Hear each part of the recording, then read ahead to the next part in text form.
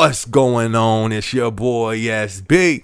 All right, so we are going to talk about the storm is here. So, what do I mean by that? I'm talking about just the situation and the place that our country is in. And to be honest, it ain't just the country, it's the state that our earth, that our world is in today. All this crazy stuff that we're seeing take place in our country ain't just happening in our country. This stuff is going on worldwide. But I didn't even really want to do too much um, outside research when all the other countries, when we got so much going on and that we have to deal with in our country. And in this video, I'm not going to go into depths on each one of these things. I talked about most of these things in previous videos that I've did when I was talking about bigger than Amazon. So I wanted this just to be like the main overview, and then I will go into depths on certain ones on its own vlog just to give it more time. So the reason why I call this a storm, um, last year I was saying, yo, it's a storm coming. I believe that storm is here. And I call it a storm because it's getting, we're getting hit from every direction, not just economically with our finances, but we got train crashes and different vehicles and different things blowing up with all these type of chemicals in it where we don't see the full effect. What's going on with that? You feel me? Chemicals burning into the atmosphere. We don't see the full effect of what's going to take place of that. And then when we look, what was it last year? All the food factories and all that stuff that was catching fire all of a sudden and blowing up, all this weird stuff that was taking place on top of everything going on in the economy. So that's why I say it's a storm. But what happens in a storm? When you got a real storm that's coming, what happens? You get an alarm, you get you see it coming from afar off, you prepare, you board up your house, you get extra water, you get extra food, you do all that stuff to prepare. And for like the last six months, that's what I've really been telling people like, look, let's get our resumes. Let's try to get some extra income to prepare for what I believe is here now. And I just kind of grabbed some headlines of different things that's going on that's in this storm, just in case there's some people here who hasn't been affected by it so far, which I don't believe that's nobody. I think everybody has been feeling what we've been going through so far. And then also the reason why I want to talk about this is because I don't believe this is going nowhere no time soon. I think this is something that we're to have to deal with as best as we can. I don't think it's going to stop in 2023. But here's just some of the headlines. Food price growth ticked back up, putting burden on consumers. Another one is this graph shows food prices are increasing. What to expect in 2023. So there's a few different things that I kind of just pulled up, just the headlines and a brief overview for it. Um, but it's basically like the food spending that we have, the economy, of course, taking place, how 64% um, of Americans are living paycheck to paycheck, how credit card debt's at an all-time high, energy prices are doubling for some people, sometimes even tripling for some people, people behind on utility bills more than ever, people behind on car notes, all this stuff is taking place and it hasn't even been declared a recession yet. So I was just gonna go over some of these little headlines and then kind of just talk on each one of them. It says the food price growth tick back up, putting burdens on consumers. Are you feeling any burdens right now when it comes to food? Um, in the article, it said that they've seen growth. We've seen growth of like 10%. it looked like it's honestly, I feel like it's 50 to 60% in my humble opinion. And one thing when it comes to all these numbers on here, I don't believe it. you know what I mean? I do not trust big media. So if it's this bad now, how bad is it going to get when they finally decide to declare a, um, a recession? This is actually an article from UtilityDrive.com um, saying how Americans, more and more Americans are struggling to pay basic um, power bills and utilities. Another area that they're saying in our country has um, reached like a record high is credit card debt. And about the average person has about 5,800 in credit card debt. Crazy numbers. All this stuff is going on right now. And this is CNBC, their headline saying record high credit card debt outpaces savings for nearly one third of the country. One third of the country? That's a lot. That's a lot of people right there. So this is another article. Americans are saving less and being buried in credit card debt. Are you being buried in credit card debt? Trust me, my second job that I just had, I use that to pay a lot of my debt down. It's so many people out here who's being affected by all these different things, this storm that we are in. This is a this was another interesting one right here. 64% of Americans are living paycheck to paycheck. 64%. That's wild. And I'm gonna go back to that. Like I'm saying, I'm just kind of just roughly going through all of them, but that's one I did want to kind of expound on. And on this one right here, it says by the numbers, how 430,000 people got behind on their loans, on their home loans. And this was in January. Um, it's saying in just one month, 20,000 more people fell into being behind on their loans. It says at the end of December, 410,000 people were behind on payments on loans and other things like power and telecom bills, but January saw the situation get much, much worse. Now, if they say 400,000, I don't believe 400,000. You feel me? I think it's way more than that. I don't trust these numbers that's going out. That's just my opinion, though. That's just me. So that's just a few of the things that I wrote down when it, with this article right here, how it says 64% of Americans are living paycheck to paycheck, though, that means that's one tire popped away from being in trouble. That's one, you know, that little engine light they used to cut on. I used to have a heart attack when I used to come on back in the day. I would pray that would never come on. And when it did, it's like your heart just sinks. And we haven't even talked about the layoffs.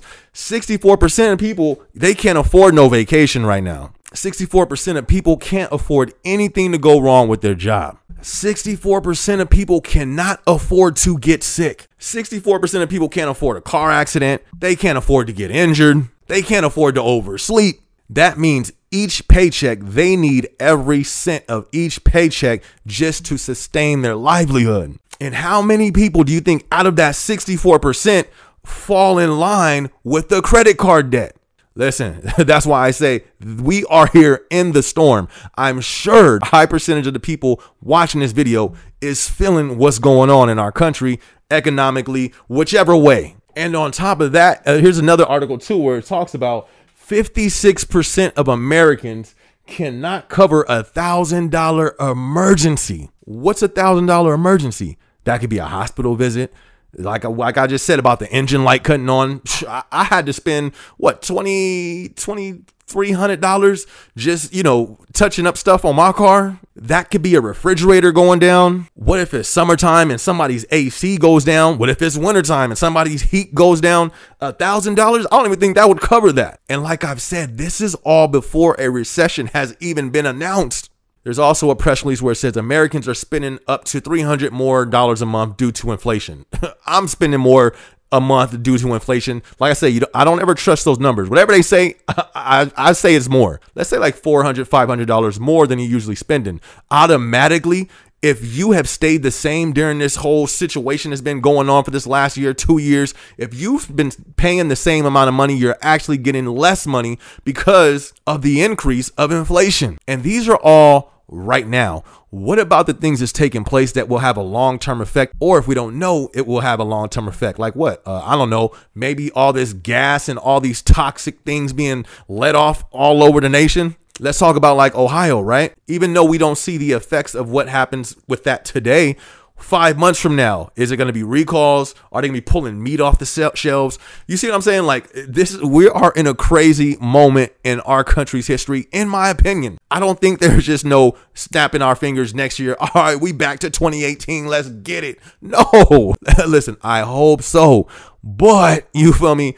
I suggest with this storm and all this nonsense going on, you need to board up your house. You feel me? You need to prepare. If you haven't yet, if you've been subscribed to my channel and you ain't been preparing, we need to check that list. What was I talking about? First thing, cutting your spending. And it's funny, on one of these little articles, they were talking about that. I'm like, yo, we've been talking about that for the last almost year. You need to cut back. I need to cut back on any extra spending that's not needed. Want to know who else is doing that? All these big companies, feel me? Amazon, um, Walmart, all these big companies, they've been scaling back on the extra, cutting the fat, cutting back on extra spending. We need to do that as well. Not just cut back, we need to make sure that we have a cushion just in case anything happens. Because obviously, most don't. 56. That means if you, 10 people in this room, you feel me, five and a limb, you feel me, five in somebody's arm, you feel me, don't have a reserve saved. They don't even have a thousand dollars of reserve saved. To me, this just seems like a table. You ever seen like an old chair, an old table, and it's just too much stuff on there, and you just looking like, you feel me? Don't nobody need to put nothing else on there. You start hearing it crack you know what I mean? It just looked like something's gonna fall. That's what I see right now. I have one question. How does all of this sustain itself? We're not even talking about the conflict that the world is in. Listen, we need to, like I said, we need to add to that list of that preparedness. We need to save money, cut back. We need to prepare mentally. We need to prepare physically and we need to prepare spiritually because that's one thing I was trying to look into because I've talked about it prior about mental illnesses on the rise. What about the people who's breaking mentally? I was really trying to check those numbers. The easiest ones that I came across were more so for kids. It was saying um, that the ER was seeing spikes as high as 49% in teens needing psychiatric help compared to 2021. 50%. And they're only talking about teens. Like the headline was CDC data shows sharp rise in teen mental health problems, but parents say experts can help. First off, hold on. I mean. First off, rise in teens. I'm trying to find information. What about just what about the grown parents who's living in a time of uncertainty, who's living in a time of stress? Even if you got a job and you got your house, you still almost kind of stressed because you don't know what's up with your job. You know what I mean? So trying to find that data has been kind of difficult. Why is it so difficult? Why can we find all this other stuff, but certain things are kind of more difficult to find? They're already showing with teens, it's been a rise in mental health. And then they go on to say, but parents get help. How? You feel me? Between job number one, two, and then three, you feel me? Between two jobs while they on their DoorDash delivery, that's when they gonna help. Listen, this don't look good. I've said this before. I think 2023 is going to be bad. On the economic level, on the mental health on the mental health level because honestly all those things are connected. When you have people struggling to provide for their families all that mental stress you're sitting with bills in front of you that can't be paid you can't be paid you can't be paid what do you think that's going to reflect on? That's going to reflect on people's mental health. What is that also going to do? Has anybody been paying attention to the news of all these wild things going on throughout the country? So that's going to be another storm that's going to continue to raise on that storm radar. You know, tornadoes come, it's like, oh, there's a five, a four, a three, a two, one level. All these levels are going to continue to raise because they all are connected. That's going to reflect socially. Just going to the store, just going out to eat, or just going to the city is going to be more crime. Look it up. Home robberies, um, burglaries, all this stuff is on a rise. And I know we have not seen the peak yet. And not only have we not seen the peak, they haven't even declared a recession yet. So that's why I say I make these videos. Why do I make this? Am I trying to scare people? No, I'm not. I actually put, you know, looking, I even had to stop looking at everything of what's going on because it can cause anxiety. It can cause, all right, what can I do? What can I do?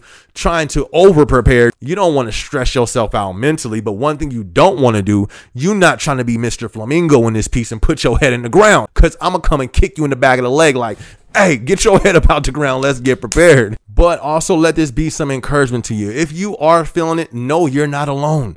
I'm feeling this. I got friends that's feeling this. I got family that's feeling this. And I would just want to encourage you keep going. No matter what, I think the most dangerous thing that we can do or anybody can do during this time is give in, is break, is cave in to the pressure. No matter how many bills you may be behind, no matter how much debt that you have, the last thing you want to do is give in. You know that pressure that's over you from all that stuff, and then you just give in? It low key breaks people, it snaps people. So I want to encourage you, no matter where you're at, if you need this needs to be a time where we're connecting with friends as much as possible. We staying connected with family as much as possible because I truly believe that network of friends and family is going to be a huge help during the situation that we're going through. Because honestly, I don't think this is going to end well. And y'all don't want to hear my true opinions. You don't. You feel me? You do not want to know what I think is going to happen. I don't even want to hear it.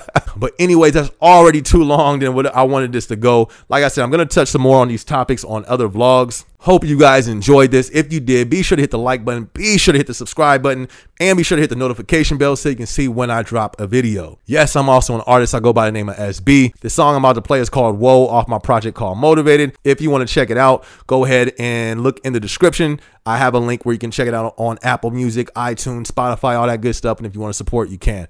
I'm going to catch y'all on the next video. It's your boy SB. Let's go.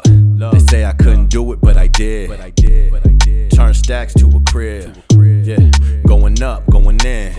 Let them sleep, bedtime, tuck them in.